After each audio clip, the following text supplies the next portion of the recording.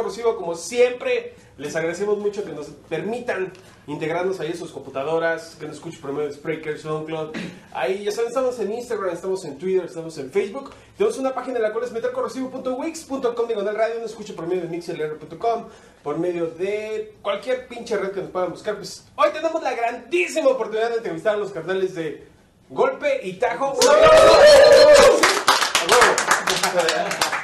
Antes de iniciar, carnales, yo me- a mí me gustaría mucho que eh, se presentaran. Somos un buen, de izquierda a derecha, derecha a izquierda, como gusten.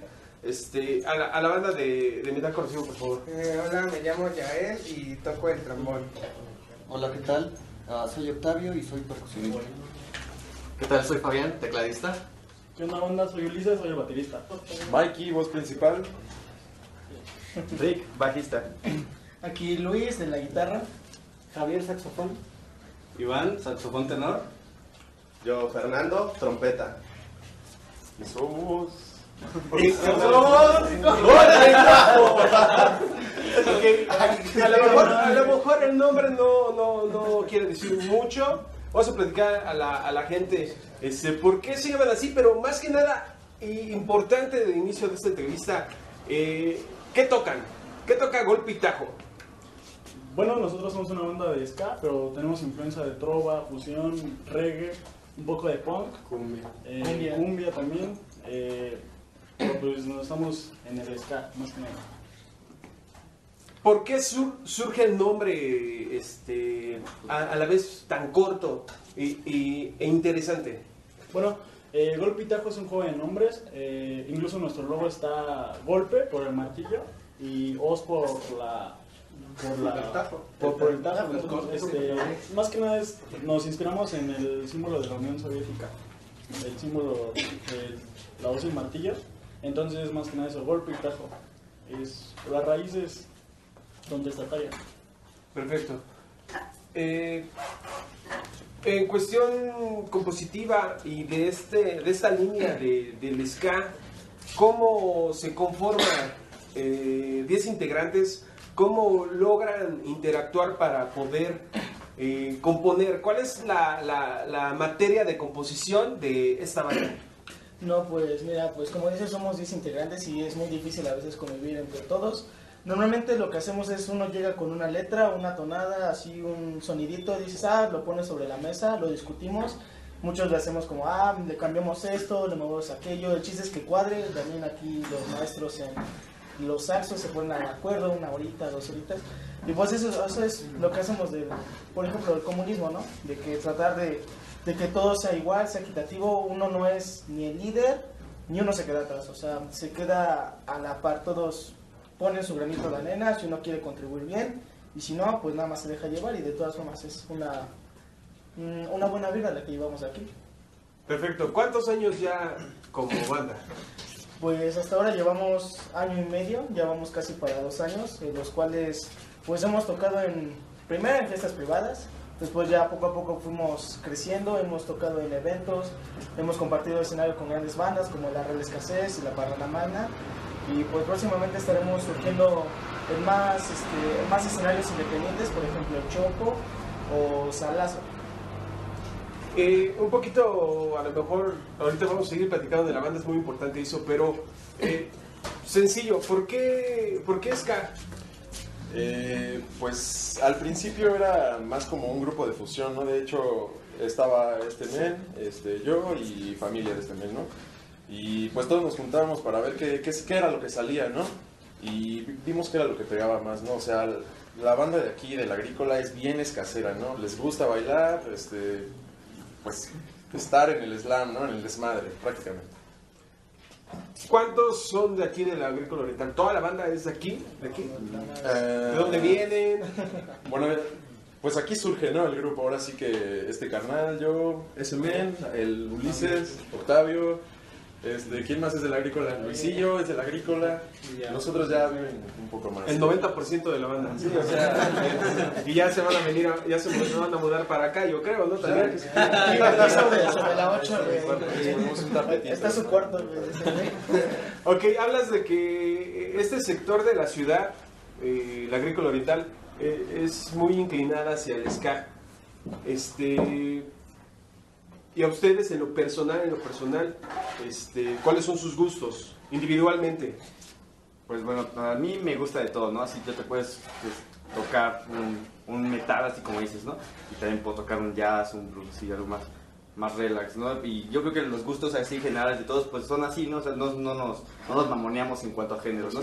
Y de hecho, eh, luego estamos así, ¿qué sale? Y tocamos cumbia, salsa, o sea, estamos muy, muy variados en ese aspecto.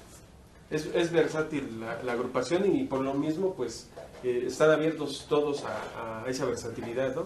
Por supuesto. ¿Para dónde se dirige este, esta, esta agrupación? ¿Cuáles son sus metas, sus sueños y qué es lo que han hecho?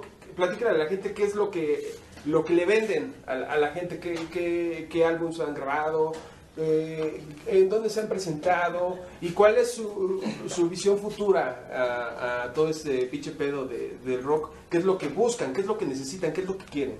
Claro, bueno, pues por ejemplo hemos tocado, empezamos como cualquier banda, eh, tocando en fiestas privadas, etcétera. Eh, empezamos a tocar en, me acuerdo que mi pri- primer tocada con ellos fue en la inauguración de una pulpería que se llama Las Mieles de Mayahuel. Sin embargo, hemos crecido bastante en este tiempo y tenemos planes, de hecho, para el 2017 estar en el Vive Latino. Y tenemos fechas próximamente para tocar con la maldita vecindad, etcétera. O sea, ya vamos para arriba, sí. Vientos. ¿Y qué, qué le podrían platicar a la gente en cuestión de, de- del ska? ¿Qué tan fácil o difícil es, es conformar una agrupación de este tipo? Para toda la gente que nos ve, que está empezando en la música, todo ese pedo, ¿qué tan difícil es tocar este género? Eh, jalar gente, eh, componer, ¿qué, tan fácil o difícil es, eh, unirse al sector del ska aquí en México? Pues la escena del ska en México pues es complicada, pues ya han surgido muchas bandas aquí de la agrícola oriental, del CCH pues, salió Panteón Rococó. Supongo que como vamos nosotros, pues tenemos una escena pues ya hecha, lo que queremos es innovar hasta cierto eh, momento. Y pues sí es difícil jalar la gente, eh, pues el ritmo que tenemos es pegajoso, ¿no? Pues es ska, es un ritmo que es rápido, es eh, básico en la, en la cultura mexicana ya el ska.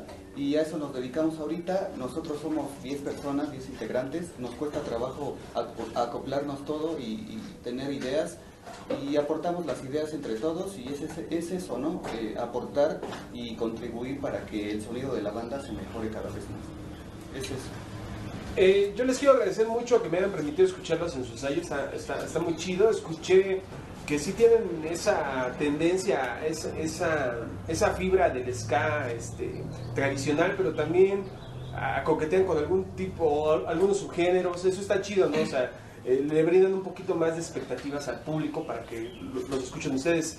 El sector del ska eh, en, en México, como tú lo decías, es un poquito variante, es un poquito difícil.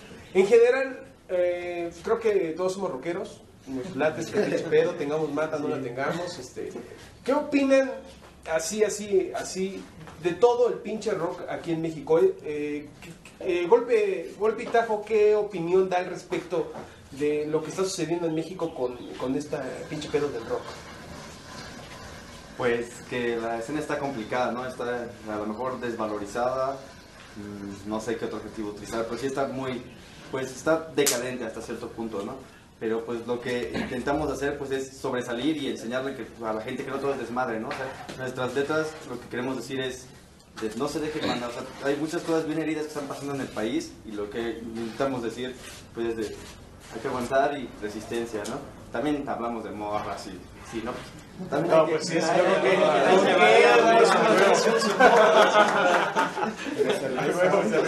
¿no? No, no, no, no, todo es seriedad. A mí nos gustan las borras. No, pues mira, igual como dice Rick, este, pues sí está, mucho, sobre todo el rock tiene grandes estigmas por todo lo que pasó, de- tenemos fechas importantes como el 68, el 71, la huelga del 99 y la UNAM, lo que pasó en el 2008 igual en la UNAM y bueno, lo que está pasando ahorita con el Poli, lo que, los, bueno, lo que pasó en Ayotzinapa y demás desmadres que están pasando, lo que están pasando, entonces nosotros queremos reflejar en nuestras canciones, por ejemplo, hay una rola que escribimos hacia el E EZLN, de que llevan desde el 84 peleando, lo que todo, todo tratamos de hacer un espejo, de decir, este, bueno, pues estas cosas están pasando, puedo hacerlo con poemas, lo puedo hacer con, no sé, una pintura, un escrito, pero yo creo que la música, sobre todo, le llega más a la gente, ¿no? Porque es, es fácil, aunque no sepas ni hablar del idioma, eh, dices, pum, me llega, me entra, me entra literalmente toda la esencia que quieren transmitir. Y sobre todo nosotros como músicos, yo lo veo, que somos los que inspiramos a demás músicos. O sea, cuando un pintor está, ahora sí que valga la redundancia, pintando, pone una rola, ¿no? Cual sea. Y dices, ah, pues un músico inspiró a este artista. Y en nosotros mismos nos vamos nutriendo. Es un, así un círculo. Es recíproco, un círculo vicioso. Y pues lo que queremos hacer es tanto dar nuestro lado contestatario, revolucionario, pero también no dejar de lado el desmadre y todo eso. Y quitar, sobre todo, todo el estima que ha tenido sobre todo el ska, porque lo confunden a veces con drogas, estupefacientes y cosas así, que nada más no son eso, sino que son una forma de vivir, una forma de pensar, una forma de actuar y pues que muchos países han incluso basado sus políticas en dicho género. Tómela. Te de la respuesta, güey. Ya que nos. Para no tener una entrevista contigo, por favor. No, no, Ahorita que, ya que tocamos el tema de, de- de a lo que van las composiciones, ¿dónde la gente los puede escuchar? Este, ¿qué, qué han hecho en, cu- en cuestiones de producción? ¿Han grabado algo? Cuéntenle a la gente un poquito de eso. Ah, pues eh, acabamos de, gra- de grabar una rola, ¿no? Se llama Te agradezco. Es nuestra primera rola grabada, ¿no? Ahora sí que Profesionalmente. profesionalmente. ¿Dónde grabaron ese pedo? En un estudio llamado El Garage. El Garage presenta. Este, Ah, ya, ya, ya. banda, Sí, ¿no? es bueno, es bueno Sí, chido. ahora sí que Como pues, ahí ingeniero. En la escena. Y se escucha chingón. Pero de todos modos nos van a poder estar escuchando el 12 en, en la estación de la radio FM 103.1. Se llama... ¿Cómo se llama? Que se le olvide Pampa, que se le olvide Pampa. Se llama No Aflojes Radio. No, Sin no. No. Sin aflojar. Sin aflojar radio. ¿En dónde va a ser? 103.1. 103.1. 103.1 de de FM. 12 de junio. Eh, Vamos, es este, entre 3 a 4 más o menos. Y, vamos- y dos días después, eso cae jueves, dos días después, sábado, vamos a estar compartiendo con la Barrana Magna, que son unos buenos carnales. Igual eh, va a ser como nuestro sueño mojado y húmedo, tocar con la manita de celular. ¿Saben, saben que es cierto. Pues, pues ese rollo, y igual me acuerdo la primera vez que grabamos nuestro demo, lo grabamos creo que fue aquí. Lo grabamos con el micrófono de Guitar Hero con su compu. Hecho, lo, lo pueden ver por YouTube en Golpitajo. Igual, Twitter es Golpitajo. Y en Facebook es Golpitajo. Y pueden seguir todas nuestras locuras. En YouTube igual. Y pues cuanta madre se les ocurra a los que Buscarnos, estas. Y ahí estamos. Entonces, es- huevo. Y próximamente nos vamos también a Honduras. Estamos trabajando. Cuidado, Honduras, eh, que. Va para Honduras. Al tiro, porque. ¿Cómo cómo dijo que.? No, sé si. Al tiro, al tiro que tiro es que va a. Ok, carnales. Trabajando para el Vive. Ah, ok, Trabajando mucho para el Vive. Vientos, vientos. Trabajando duro para el Para el Vive. Vive. Vientos. Este, ¿qué viene aparte de fechas en cuestión musical de ustedes? Escuchamos, eh, son muy buenos ejecutando los instrumentos, yo los felicito, la verdad. Este, lo hacen bien, lo hacen diferente a lo que yo he estado escuchando con, otro, con otros amigos que también tocan este pedo, con otras bandas. He ido a muchos eventos en vivo. La verdad, creo que vamos por buen camino, la verdad, a mí, a mí me agradan muy, mucho. Este, ¿Qué es lo que sigue? ¿Qué, ¿Cuál es el siguiente paso de, de esta banda? Aparte de fechas, aparte de, de eventos este, tan importantes como el Vive y ese tipo de cosas. ¿Qué es lo que sigue en cuestión compositiva y, y de, de agrupación? Pues no estancarnos ¿no? En, en el hecho compositivo. Todos le echamos su grano de arena. A, a Rick, por ejemplo, le gusta el hardcore, tenemos reggae, influencias de cumbia. Entonces, no, no estancarnos y pues dejar huella ¿no? en la escena del ska. Evoluciona. Y innovar más que nada. Y pues próximamente ya estamos, está planeada pues, la grabación del disco, más o menos con 10 canciones, entonces así. Lo que ya está, lo que sigue. Vamos a regalar. ¿Este así. año? Igual y este, Sí, este año. año. Bien. ¿Cuánto, cuánto, ¿Cuánta esperanza tienen ustedes al respecto de su banda? Así, así, así, la neta, la neta. ¿Se ven se ven en, en a futuro chingones, se ven, la neta, la neta, se, ven- se ven bien, se sienten con esos brillos, se sienten seguros. Vaya, yo creo que sí. Ya lo somos, ya, ya, ya lo somos, vientos. Hasta sentí el cachetado. Pues, güey, ya lo somos. Ah, perdón, perdón. No, no, pero o sea, más, más grande todavía. O sea, ahorita está bien, pero más, más, todavía más. Bueno, digamos, yo, si es posible, digamos, mi sueño es tocar con los Scatalites, con Oh, sí, Madness, wow. Specials, Oh, bandas ya que son representativas de, del ska en todo el mundo a nivel mundial. Eso, eso creo que sería lo mejor que podríamos tener. Y están trabajando fuerte para llegar hasta allá. Claro, bien, claro. Vaya. Vaya. ¿No se notó? Bien. Bueno, pero o sea, yo estuve en el ensayo, yo lo vi, lo viví, lo, lo sentí, lo sé. Pero hay mucha gente que no, no, no lo conoce, ¿no? O sea, es como, como el brother dice, ¿no? Tenemos un, un, un single, ¿no? Ahí en, en redes. Y este, a veces eh, el público necesita conocer un poquito más al respecto. Y qué mejor que la misma banda se lo platique, ¿no? Que, que- que- conozcan muy a fondo lo que es Golpitajo y las influencias que tiene y todo este pinche poder para poderle dar un poquito más de comunicación y un poquito más de empuje a la escena de, del Sky del rock en general, ¿no? Bueno, carnales, yo les agradezco mucho. Cualquier cosa que quieran agregar, regáñenme si la regué. ¿Todo bien? Sí, todo bien. Bien, los carnales. Bueno, pues yo les agradezco mucho. Van a estar dentro de ocho días, ¿verdad? Ya en Ya, esa. por esa. A toda la banda de. A, a los reggaetoneros, por favor, no vayan. No vayan. No, no vayan. No vayan, por Y, favor. No les va a gustar. la y- hay no muchos por allá, ¿eh? Por favor, carnales. No, no, hay que invitar a todo el público. No, No, sí, El sí, que público El chiste, el chiste, el chiste es ir acá, echar el desmadre, sentir la vibra de este buen escala. Y no aflojar, ¿no? Y no aflojar. No se va a hacer el grito de guerra a partir de ahí. A ver, sí, a hoy, sí. No aflojemos. Ese va a ser el grito de guerra, pero este es exclusivo de metal corrosivo, ¿eh? No aflojemos antes de tocar, güey. Golpitaco sale con ¡No aflojemos, cabrones! Esa, exclusivo. Sí, que vaya toda la tropa. El chiste es, pues la música va para todos así, ¿no? El- es la vibra, las que tenemos que, que mover el cuerpo con esa buena ska que, que, hace el Sin aflojar, obviamente. Sin aflojar. Bueno, pues muchísimas gracias, carnal. Yo les agradezco mucho. Y a toda la gente que ve, escucha o nos sigue ahí en las redes, les agradezco mucho por su tiempo. Y pues ellos son Golpitaco. Aplauso, carnales. A huevo de la pinche agrícola dental para todo el mundo. Bueno, gracias. Esto es Corrosivo. Yo soy Roy. Hasta luego. Nos vemos.